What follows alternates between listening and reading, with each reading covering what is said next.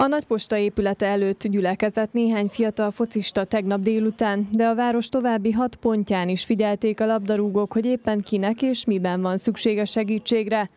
A CVS-e labdarúgó szakosztálya fontosnak tartja, hogy amellett, hogy az edzéseken megkapják a fiúk a speciális labdarúgó képzést, pedagógiai programban is részesüljenek, amely által az életben is jobban megállják a helyüket majd kedves és segítőkész viselkedésükkel.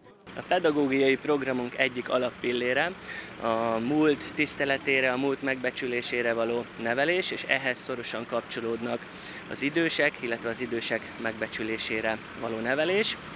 Ennek apropóján október 1-én lesz ugye az idősek világnapja, és úgy gondoltuk, hogy szeretnénk egy ilyen kampányszerű akciót indítani, amikor az U17-es és U19-es korosztályunk nagyjából 25 játékosa edzőkkel együtt kijöttünk ide a városba, a CVSE falain kívülre, és szeretnénk az időseket segíteni mindennapi egyszerű feladatokban, mint a bevásárlásban, a cipekedés esetleg. Az idősek segítése mellett egy kis meglepetéssel is készültek a focisták.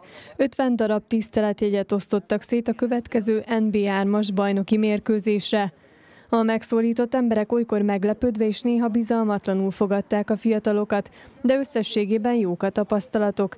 Erről már Danó János, az U17-es csapat vezetőedzője beszélt. Egy picit nehéz a dolgunk, picit bizalmatlanok az emberek, de néhány azért már meghallgattak minket, és aztán szívesen vették, hogy segíteni akarunk, bár segítséget még senki nem fogadott el, de tiszteletjegyeket már tudtunk kiosztani, és elfogadták tőlünk, úgyhogy aranyosak a bácsik nénik. A következő bajnoki mérkőzésre pedig szeretettel várnak mindenkit. A meccs október 16-án lesz 13 órakor.